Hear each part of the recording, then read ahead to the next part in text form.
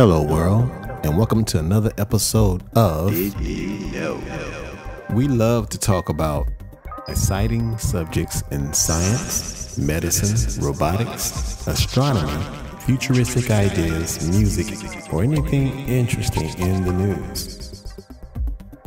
So let's get into it. Did you know in the news?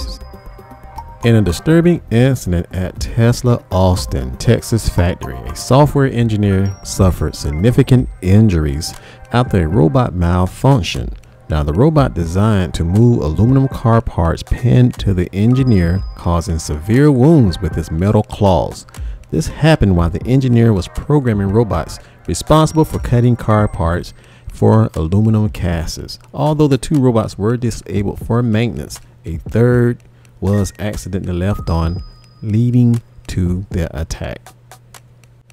Now, the facility in which Tesla began building in 2020 following CEO Elon Musk's disputes with California officials over COVID 19 restrictions has faced numerous safety challenges. Injury report to the U.S. Occupational Safety and Health Administration suggests that almost one in every 21 workers at the Giga Texas factory was injured last year, a higher than the automotive industry's medium of 1 in 30 workers. Workers have accused Tesla of compromising safety but cutting corners in construction, maintenance, and operations. Safety lapse at the plant included accidents involving heavy machinery and exposure to harmful substance like ammonia. In one case, an employee was absent for over four months due to an ankle injury caused by a moving cart. Another worker missed 85 days after being hit on the head by a metal object.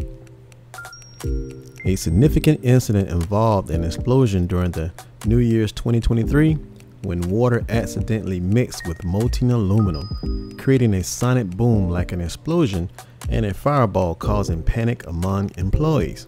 However, the number of injuries from this event remains undisclosed. Now, Tesla Austin plant, a 10 million square foot facility, is part of Musk's ambition to build to produce 20 million cars annually by 2030. The company expects to employ 60,000 people at the plant and invests up to 10 billion in its construction.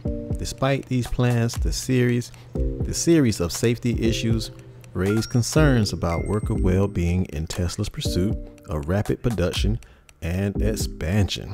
Let me know what you all think about this. What do you think about these robots?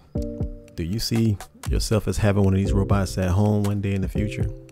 I might give it a try. But let me know your opinion. Until next time, stay safe and I'll talk to you soon.